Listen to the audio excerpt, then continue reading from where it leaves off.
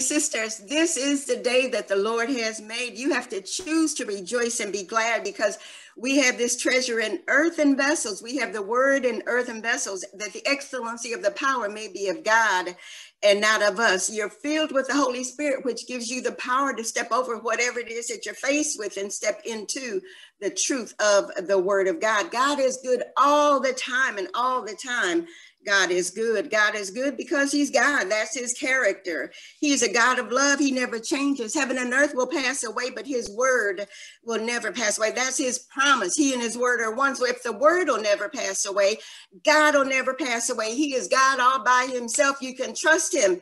He is from everlasting to everlasting. God is all knowing. He's all powerful. He's all present. He's a God who never has to go anywhere because he's already there. He's a God that you never have to tell anything because he knows the end before we even know the beginning. You don't have to be strong in yourself because you serve the God who is all powerful. Sisters, as we walk this way of holiness with your designer suit on, strutting with your holy swag, understand that it is God who is leading you in the path of righteousness for his name's sake. You never have to fear what is in that path because his grace is sustaining you. Sisters, sisters, sisters, good morning this day. Special shout out to some of my sisters from my congregation, Newsom Street Church of Christ, who are on this morning. And I just thank you so much. Some of them were on last week, I think, but they've been able to join us. I think Val and Sister Pat have been getting the word out here in Valdosta, and the sisters are coming on. And I thank you so, so much. So this morning, sisters, under our overarching theme of getting through what you're going through. This morning, we're going to talk about fitness for life, spiritually, physically, and mentally. 1 Corinthians 3.16 says, Know ye not that ye are the temple of God, that the Spirit of God dwelleth in you. 1 Corinthians 6, 19 and 20. What know ye not that your body is the temple of the Holy Ghost, which is in you, which ye have of God, and ye are not your own?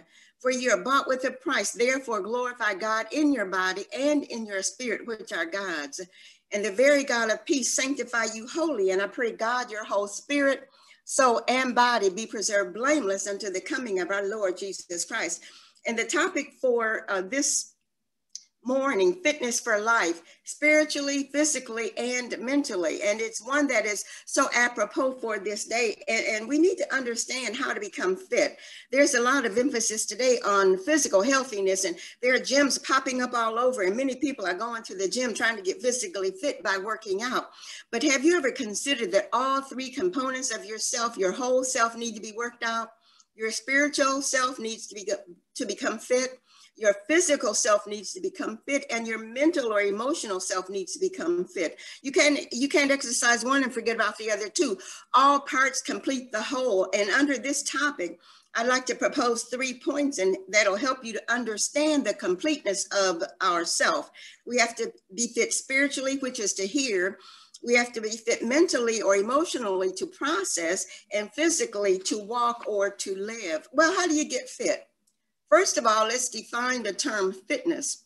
The word fitness means being fit or suitable, morally fit, spiritually fit, emotionally fit, conformity with what is demanded by the circumstances, fitting together, being ready to do what is required.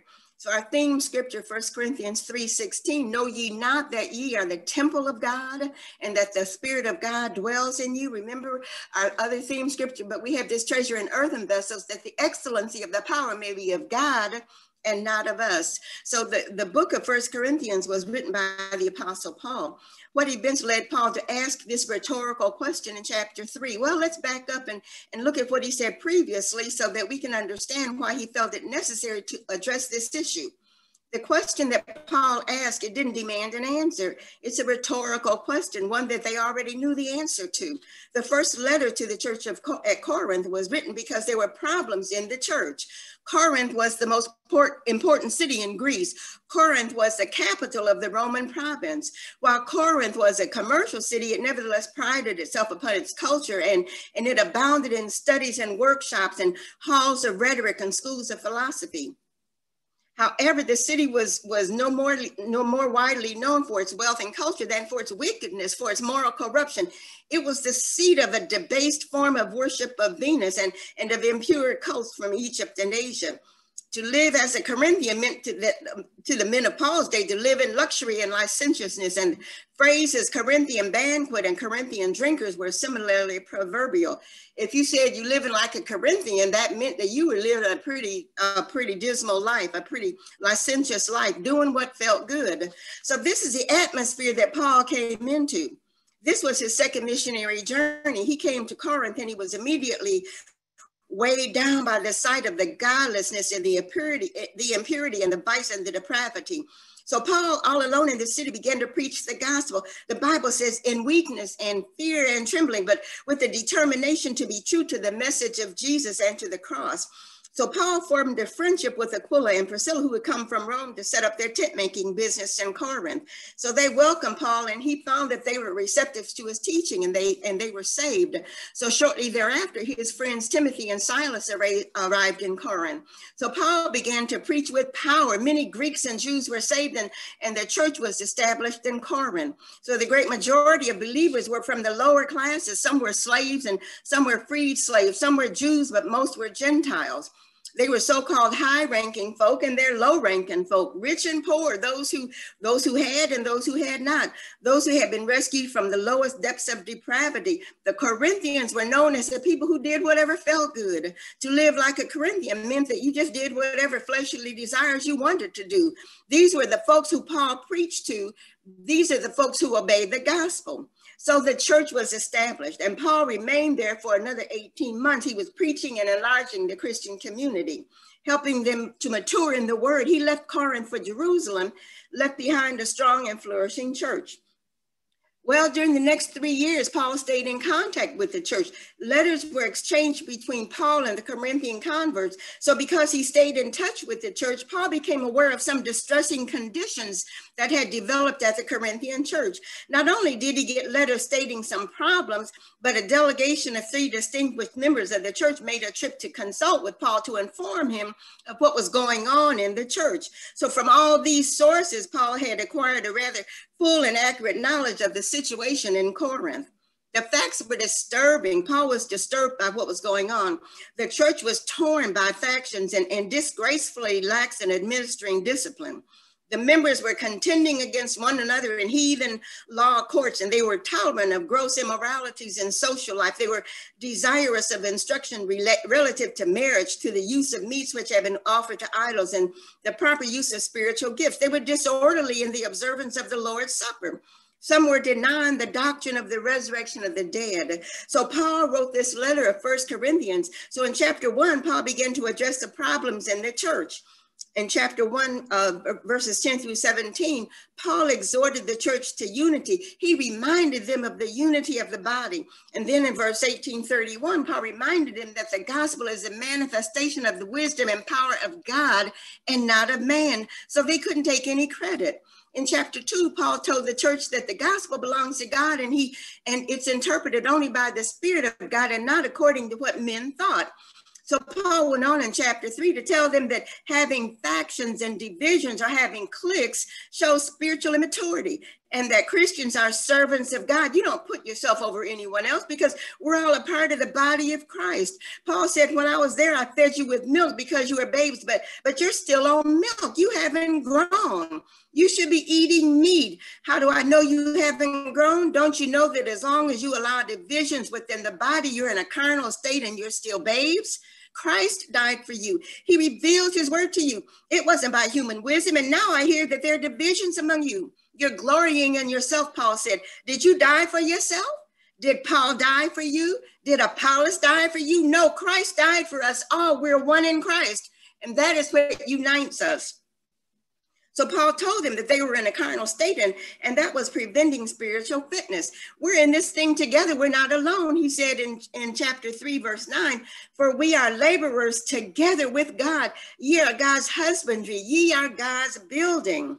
And then we get to our theme scripture. Paul said, Don't you know that because of Christ did, not because of what Paul or anyone else did, that you're at the temple of the God and the Spirit of God dwells in you? Your temple is holy because the God within you is holy. You didn't do this thing by yourself, it was done by God. He saved us, He made us one in Him. You don't have any room to glory in anyone but God. Paul told them that they were in a carnal state and that was preventing spiritual growth. So since we're labels together, there are no big eyes and there are no, little U's. Don't you know that you're the temple of God? You're a holy temple and you should conduct yourself in that way. If not, you're not fit for spiritual life. You're not fit for physical life in the spirit and you're not mentally or emotionally fit.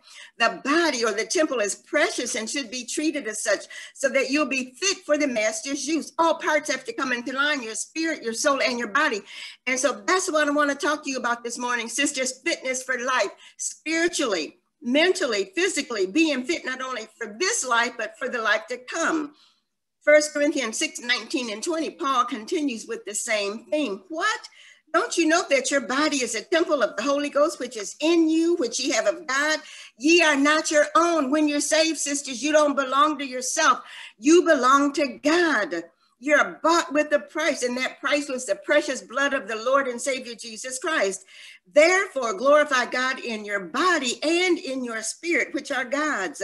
You can't glorify God in your body if your mind is not being renewed by the word. Your body does what your mind tells it to. If you want to be fit for this life and the life to come, you have to strengthen your vertical relationship, internalize the word of God, and line up with line up with what you are learning. What is fitness?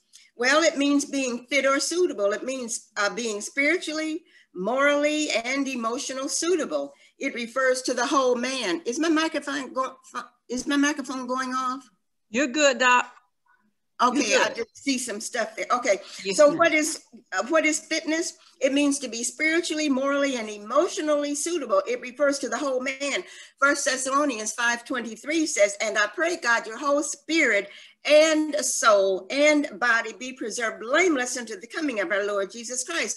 So it means being in conformity with what is demanded by the circumstances, fitting together spirit, soul, and body, one complete whole being ready to do what is required. Philippians 3:13 says, I can do all things through Christ, which strengthens me. You can do nothing in yourself. I can do all things what? Through Christ. There's your vertical. Through Christ. There's this.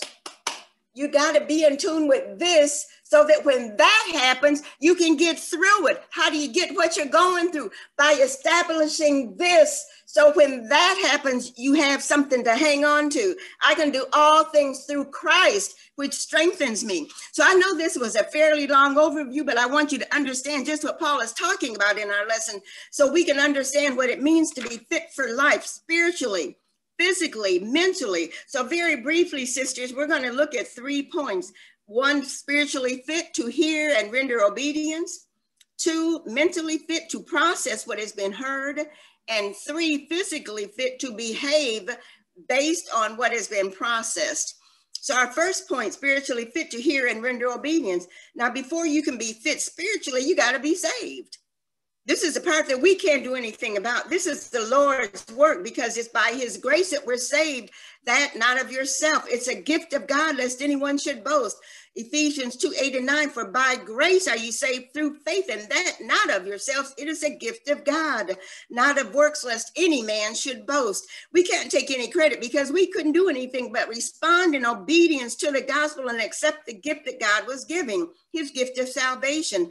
When you're saved, your spirit is made alive. Your spirit was dead your spirit was dead in trespasses and sins. But Paul said in Ephesians 2 4 through 6, but God, there's the there is the there is the the the the bridge, but you got to look at what happened before. But God, who is rich in mercy, for his great love wherewith he loved us, even when we were dead in sins, a dead man can't do nothing. A dead man can't do nothing. If you're at a funeral and you holler fire, the only one that will not run out of that place is the one who's in that casket. But God, who is rich in mercy, for his great love, for what he loved us, even when you were dead in sins, has quickened us together or made us alive with Christ. By grace ye are saved, and hath raised us up together and made us sit together in heavenly places in Christ Jesus. Sisters, your spirit was dead. You couldn't resurrect yourself. The same spirit that raised Jesus from the dead is the same spirit that saved us and raised us from the deadness of sin. We can't be saved apart from the Spirit of God. You cannot live this Christian life apart from the Spirit of God. You were filled with the Holy Spirit of God when you went into that water and came up a new creature. All things are passed away. Behold, all things are new. You're filled with the Holy Spirit, not of yourself. It's a gift of God. You're you are seated in him. You're not seated in heavenly places by yourself. We're there together. We're there together we are in unity with Christ. We're added to the body, and the body is one. And if you're part of the of the one body, you're not by yourself. Listen to what Paul said in Ephesians 2 4 through 7. But God, who is rich in mercy, because of his great love with which he loved us, even when we were dead in trespasses, made us alive together with Christ. By grace you have been saved and raised us up together, made us sit together in heavenly places in Christ Jesus, that in the ages to come he might show the exceeding riches of his grace in his kindness toward us in Christ Jesus. You're not in it by yourself. We're in this together.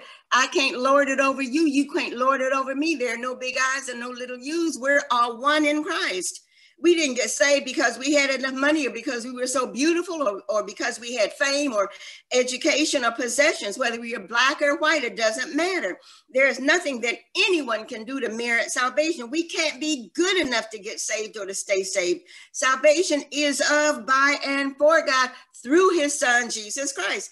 When you get saved and your spirit is made alive, this opens you up to begin to hear the word of God to begin to transform your mind and begin to agree with what the word says.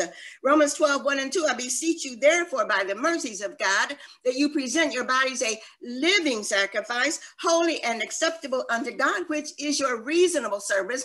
And be not conformed to this world, but be ye transformed by the renewing of your mind, that you may prove what is that good and acceptable and perfect will of God. What is Paul saying? He said, now that you're saved and your spirit has been made alive, now you can begin to work on the heart, the mental part, the mind. This is where it becomes an individual walk, an individual responsibility for strengthening your relationship with our Lord. Point number two, to process or to think emotionally, mentally fit, how to think. Paul said, don't be conformed to this world. In other words, don't keep doing stuff the way you used to do it. Your spirit has been made alive, it's been made fit. And now your mind or your heart has to catch up with your spirit. Your spirit has been made alive, and now you have to begin to transform. You have to begin to change your mind. Your mind has to be continually renewed by the word. When your mind doesn't agree with the word, you do an exchange. You exchange what you thought for what is right. What's in your mind is not the truth. God's word is truth. So you have to renew your mind to be in agreement with the truth that's being revealed in your spirit by the word of God. So whenever you read the word, whenever you hear the word and, and your thought processes uh, disagree with what you have heard or read, then you got to change your mind. The word is not going to change. You've got to change your mind. Renew your mind to agree with the word. Your truth is not always the truth. You can believe something and think it's the truth, but when you're confronted with the truth of the word, then you have to understand that what you thought is not the truth. Be willing to give up your idea of truth for God's revealed truth. What you thought, sisters, what we thought was not truth.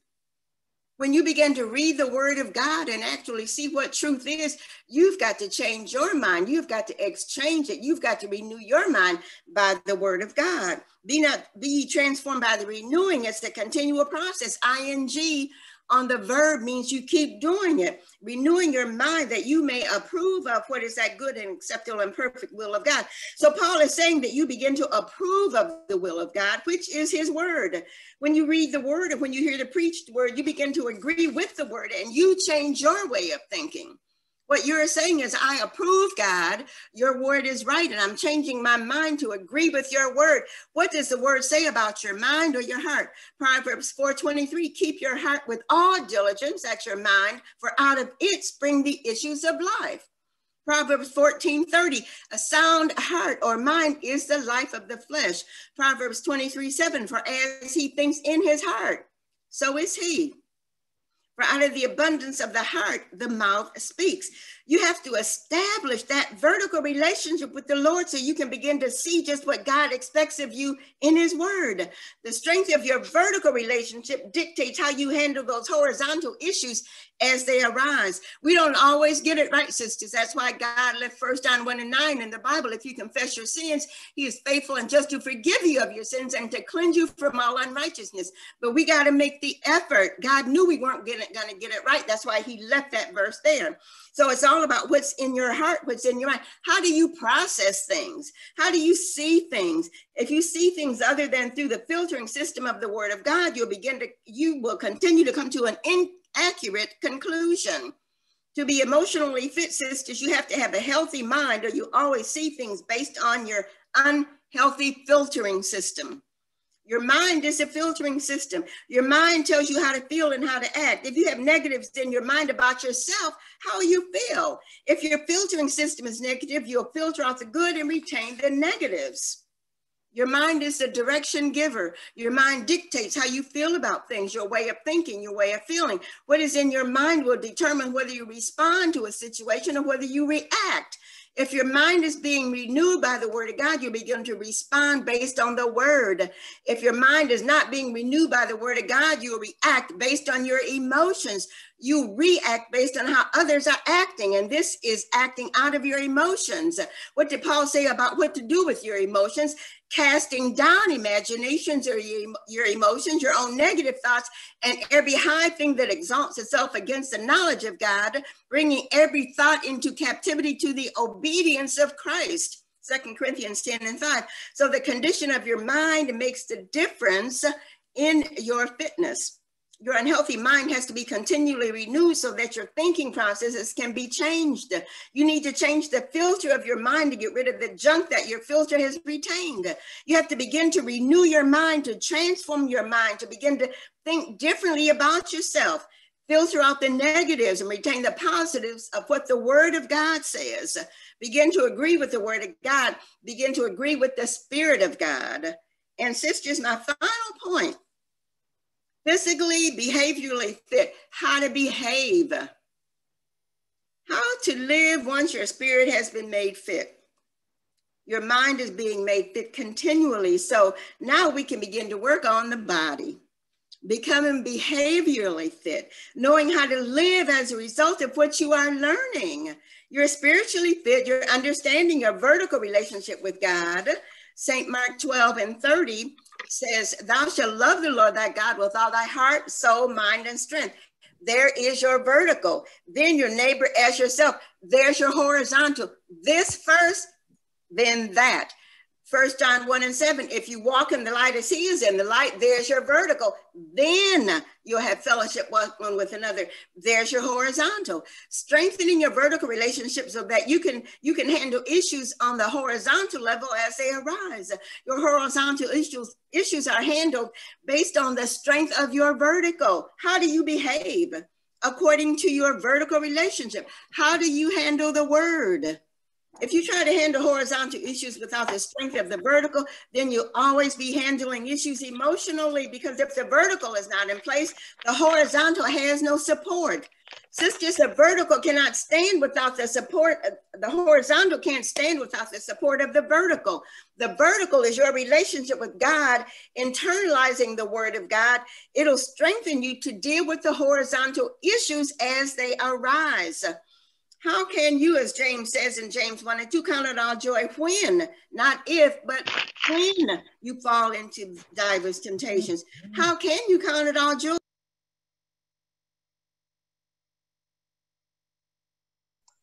Dr. Dye, you muted again. Okay, where did I leave off? There you go. I'm not. I... Okay.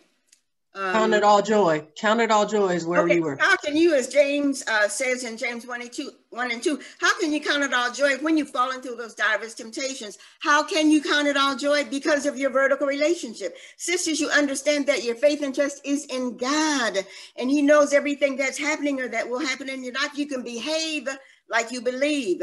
You can believe that all things work together for good because you love God and you're called according to his purpose. You can believe that there is no temptation taking you, but such as is common to man. But God is faithful in that he will not suffer you to be tempted above that which you are able, but will with the temptation also make a way of escape that you may be able to bear it. Sisters, your mind is being renewed by the word of God. Your body can only do what your mind tells it to do. So if you want your behavior to be right, your mind's got to be right. Your mind has to be continually renewed by the word of God. You can't think wrong and do right. Your mind calls the shots and your body follows those directions. So how do you become physically fit? By the continual renewing of your mind so that you can direct your body based on the word. So how do these all these three work together? Philippians 1 and 6 is being confident of this very thing, that he which has begun a good work and you will complete it until the day of Jesus Christ. Jesus began the work. He'll be the one to complete the work. But what does he expect you to do? Philippians 2 12 and 13. Wherefore, my beloved, as ye have always obeyed, not in my presence only, but now much more in my absence, Work out your own salvation with fear and trembling, for it is God which worketh in you both to will and to do of his good pleasure. What is Paul saying to you? He's saying, work out what the Lord is working in. You're to work it out. You're to believe, you're to live what he's teaching. Your mind is being renewed by the words. You can be begin to live the word that is being worked in your mind. Paul said, Don't do things the way you used to do them. Now that your spirit has been made alive, transform your mind by the truth of the word and begin to live it. Begin to live what you believe. First Thessalonians 5 23 and 24. Again, now may the God of peace sanctify you completely, and may your whole spirit, soul, and body be preserved blameless at the coming of our Lord Jesus Christ. He who calls you is is faithful who will also do it. First Corinthians 3 16 again, know ye not that your temple, you are the temple of God, and that the Spirit of God dwells in you. But we have this treasure in earthen vessels, that the excellency of the power may be of God and not of you. It's all got to work together. Your mind directs your body. Your body can't do anything of itself. Your mind gives direction to your body. Whatever your mind tells your body to do is what you're going to do. So, how do you become fit spiritually, mentally, and physically? How do you make sure that you're fit for this life and for the life to come? You have to think right, your mind, you have to do right, your hands, and you have to walk right, your feet. I just want to show you briefly an Old Testament example. In 1 Kings 21 through 23, the prophet Elijah is talking about Jezebel. You, you all remember Jezebel. We don't have to go into the story about Jezebel, but we, we all remember Jezebel and every thought was evil, and she did only wickedness. So here's what Elijah prophesied. He said, As for Jezebel, also spake the Lord, saying, The dogs shall eat Jezebel by the wall of Jezreel. And then Second Kings 9 33 through 36. And he said, Throw her down. This talking about Jezebel, throw her down. So they threw her down, and some of her blood was sprinkled on the wall and on the horses, and they trod her underfoot and they went to bury Jezebel, but they found no more of her than her skull and her feet and the palms of her hands. Wherefore they came again and told him, and he said, This is the word of the Lord which he spake by his servant Elijah, saying, In the portion of Jezreel so shall the dogs eat the flesh of Jezebel. Sisters, the, jog, the dogs ate Jezebel just as had been prophesied, and all that was left of her was her skull, the palms of her hand, and her feet. Let me show you the significance of this. Her skull, she thought only evil. Her feet were swift to running into running to mischief, and the palms of her hands, as she did only evil, she shed innocent blood. Listen to what Proverbs 6, 16 through 19 says. Six things doth the Lord hate, yea, seven are an abomination unto him. A proud look, a lying tongue and hands that shed innocent blood, a heart or mind that deviseth wicked imaginations, feet that be swift and running to mischief, a false witness that speaketh lies, and he that soweth discord among the brethren. Sisters, remember that your body is a temple. So, what do you fill your temple with so that you'll be fit? How can you be sure that you're fit so that you will think right, do right, walk right, and stay on the way of holiness. How do you do as Peter says in Second Peter 1 and 10, give diligence to make your calling and election sure. What do you do to be fit for this life and in the life and the life to come? How do you make your calling and election sure? What do you do? Second Peter five, uh, Second Peter one five through eight. He says, and besides all this, giving all diligence, add to your faith virtue, and to virtue knowledge, and to knowledge temperance, and to temperance patience, and to patience godliness, and to godliness brotherly kindness or sisterly kindness, and to sisterly kindness charity or love. For if these things be in you, and abound or overflow, they make you that ye shall neither be barren nor unfruitful in the knowledge of our Lord Jesus Christ. If these things be in your temple and overflow, you won't be barren or you won't be unfruitful, but but you'll be fit for this life and for the life to come. And then verse 8 says, if these things be in you, and verse 10 says, not only should these things be in you, but you should do these things. For if you do these things, you'll never fall.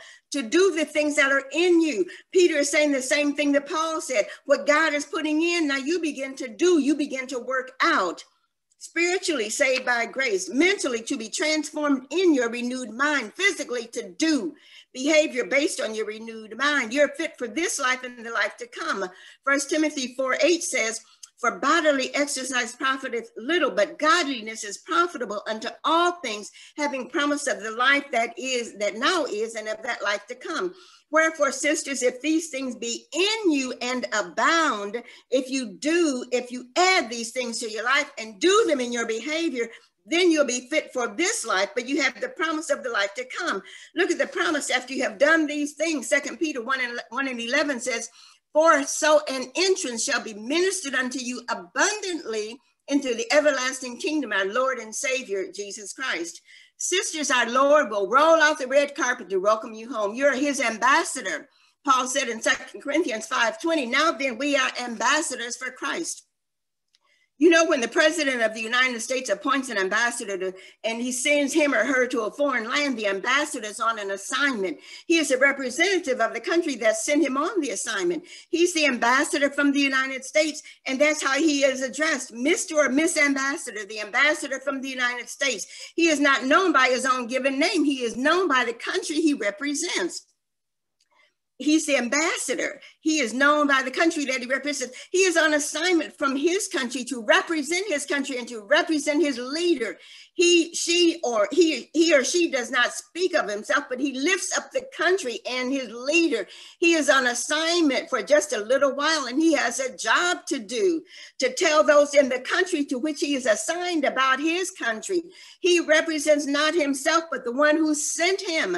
This place is not his home. He's just there for little while and when the assignment is ended and the ambassador has completed his assignment and done a good job the president calls him home he sends Air Force One to pick him up. And when he lands in Washington, D.C., the host is ready to receive him. The door of the plane opens. The military rolls out the red carpet. The president is waiting to welcome Mr. or Miss Ambassador home. He steps out of the door of the plane and begins to come down the stairs. The band begins to play. The flags are waving, and the president welcomes Mr. Ambassador home. Well done, Mr. Ambassador. You represented your country well. Welcome home. Job well done. Well, sister ambassadors, you're on an assignment from the kingdom of God, and your title is Madam Christian. When you obey the gospel, you're known as Christian, and you represent the Christ whom you serve. You don't lift yourself up, you lift up the Lord Jesus Christ. He said, If I be lifted up, I'll draw all men unto me, not to you, unto him. You're on assignment for just a little while in this earthly realm. This world is not your home. You just passing through. One day the Lord himself will call you from labor to reward. He won't roll out the red carpet. He'll roll out those streets of gold and he'll charge his angels to give you an abundant welcome into the everlasting kingdom of our Lord and Savior Jesus Christ. You'll be welcomed by that great cloud of witnesses that the Hebrew writer speaks of in Hebrews 12. All your family and loved ones who have gone on waiting to welcome you home. The Lord himself shall welcome you to receive you to himself. Well done, good and faithful ambassador. You've been faithful. You made yourself fit spiritually, emotionally, physically, and you represented me well. Enter into the joy of your master. Welcome home. God bless you, sister. That's that sister is on fire. Praise God, praise God, praise God. She always gives us such an amazing lesson. Oh, Tiffany, I'm sorry. I forgot. You already in it. Go on and finish it. Let the spirit use you. Go ahead. Do what you Go do. ahead, Tiffany. I forgot. I forgot. Nope, you already good. There's nothing else left to say, Ross. You got it. she has done an amazing job. I don't have to say anything else. Everybody is already going through the chat and is excited about everything. As soon as you started talking about ambassadors, I already knew, Dr. Dye, you was about to catch fire. It was already done, and you did it. I knew it was coming. I said, oh, the switch is coming. Here she goes. And then she went into turbo mode, and she said, here you go. It's up to you. Glory. So thank you, Dr. Dye. Such an awesome lesson. I know that everybody is enjoying this. What an amazing, amazing word. To you, Roxy, go ahead. Now, I'm, I want to say this real quick before Sister Joyce, you send me that, text me that login link for service, and um, let's put it in the chat. I want to speak to that this afternoon. I mean, at the end of class, and I don't want to forget. Text it to me and put it in the chat. I'm sorry, Tiffany. That's all I need to say because I needed Sister Joyce be focused. I need to tell her on the screen. all right. Okay. Not So- problem. All right, sisters. Uh, so we have a few minutes, so we'll be in our is getting us breakouts in a ready. few. hmm Okay. So we'll be going into your breakouts in just a moment.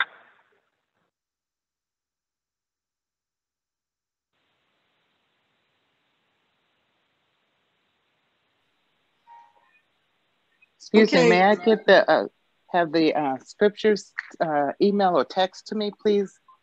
Is that possible? Uh, yes, and you can also just go onto online if you like and get them off of our website. Um, Actually, I'll do that. Thank you. I forgot yes. about that. I yes, forgot. Thank you. that's okay. This is Clarissa from Uh, uh, Sister Wisconsin. Clarissa, what what class are you? What what class do you Uh, go to? 59. Okay, thank you. Uh, Sister Delpha Griffin, what class do you go to?